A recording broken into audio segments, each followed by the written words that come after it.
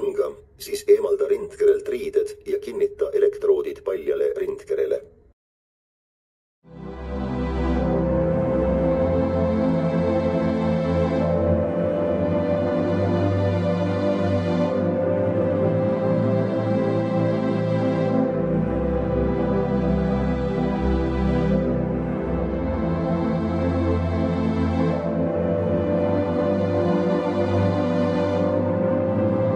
Patsienti enam puuduta, toimub südamerütmi analüüs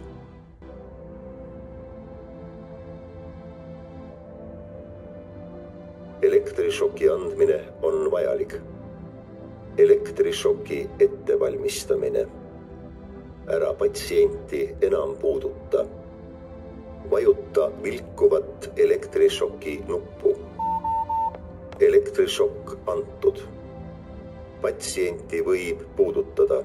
jätka elustamist suru vaheldumisi kolmkümmend korda rindkerele ja tee kaks korda suust suhu hingamist